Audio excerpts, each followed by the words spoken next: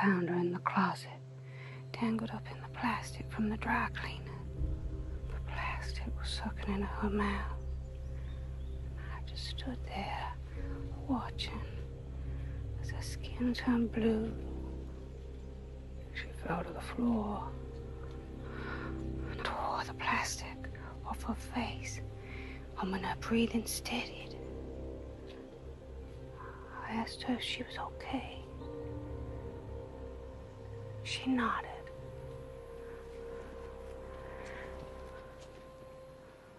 And then I hit her hard so she'd remember never to do it again.